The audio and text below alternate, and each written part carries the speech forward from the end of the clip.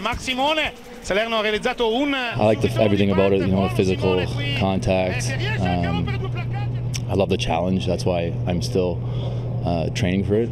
I just enjoy the sport, and uh, I just live, you know, for the moment on every play.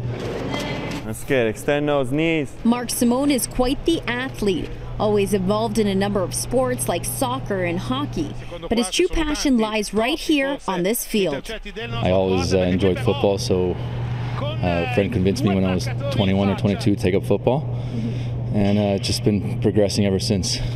Get the knees up. Knees up. Now 27 years old, he plays slot receiver and has played on a men's league semi-pro with the Toronto Titans, and last year he was on the Italian national team. Mark has a really great work ethic. I think when you look at what he's done uh, over you know the last three four years, converting to, to a football player, uh, he's taken his passion for the game and his athletic ability, which is very obvious, combined the two together, and uh, it's, it's really made him a premier athlete. Mark plans on bringing his passion to the next level next month. He'll be trying out for the CFL. Until then, he'll be working out right here six days a week.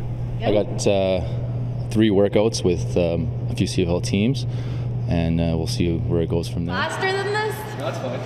I don't think There I you go. There you go. Not only did he show me a bit of his routine, I'm. I had a chance to pass the ball around with this premier athlete. There you go. There you go. oh, yeah. Well, he's a very dedicated athlete for sure. I mean, he's in here just about every day, consistently working hard. Um, he really wants to get better. Really wants to prove himself as an athlete. Drive, full extension.